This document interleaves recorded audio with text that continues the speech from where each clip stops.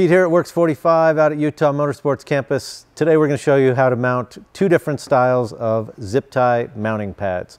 The first one is the adhesive style and the second one is the glue on or rivet on TC 105. The first zip tie mounting block we're going to look at is the stick-on style. These work great for interior applications if you're wiring up new lights, stereo, not so good for the harsh environments uh, where there might be high heat or chemicals. So let's look at how we install these little stick-on zip tie blocks. First thing I'm going to do here is clean the surface. I'm using isopropyl alcohol. Just give that a nice wipe, make sure that it's dry.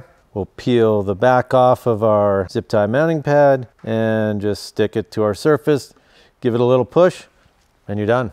These stick-on zip tie pads are really simple. You just got to make sure of a couple things. Make sure your surface is really clean, make sure your cleaning solution is dry, and you shouldn't have any problems. And the cool thing about this zip tie block is it can be zip tied from two different directions. Now we're going to look at how to mount the Thomas & Betts TC105. This is for harsh environment. You can mount this to the side of the gearbox, side of the motor, on carbon fiber. Really pretty universal. First thing I'm going to do is scuff it up on a little bit of sandpaper. I'm using a 220 grit. Any grit will work. You just need to get some scuffs on it so the epoxy will stick. Then we're gonna scuff up the surface that we're gonna stick our TC105 to. And then we're gonna wanna use our alcohol or any cleaning solution that you have and clean the surface really well and on the TC105 itself.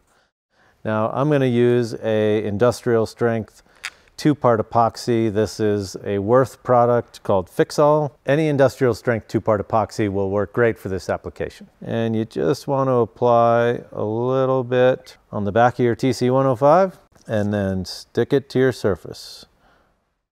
Optionally, you can mount the TC105 with a rivet. In my 25 years of professional racing experience all over the world, I've never done that. But since the option's available, we're going to show you how to do it. Voila. Thanks for watching our video today on installing two different styles of zip tie mounting pads, the stick-on and the glue or rivet TC105. Check out our other how-to videos on the website.